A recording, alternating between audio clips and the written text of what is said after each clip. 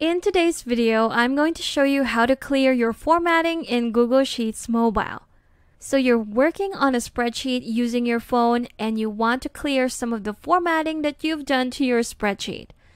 In my example dataset right here, I have applied fill color to every cell. I've applied a border color. Some of my texts are in bold and all of them are aligned in the middle or the center. So I want to start over and I want to get rid of all the formatting that I've applied to my dataset. So let's go ahead and do that.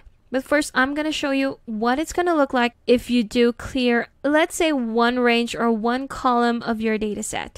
Let's go ahead and do that and make a comparison. So I've selected my column A right here. Now I'm going to go to the format tool at the top, tap on it.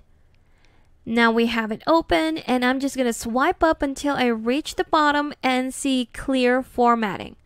If I tap on that, you'll see that my first column right there has lost everything from the border color, from the alignment of the text or numbers, and also the fill color of every cell on that selected range.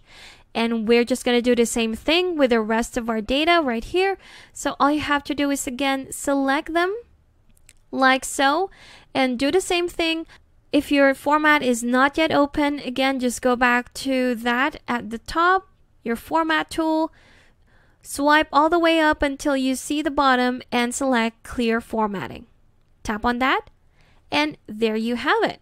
So we've cleared all of the format that we've applied to our data set and now we can just start all over again and make sure that it's not as colorful or as distracting as the previous one.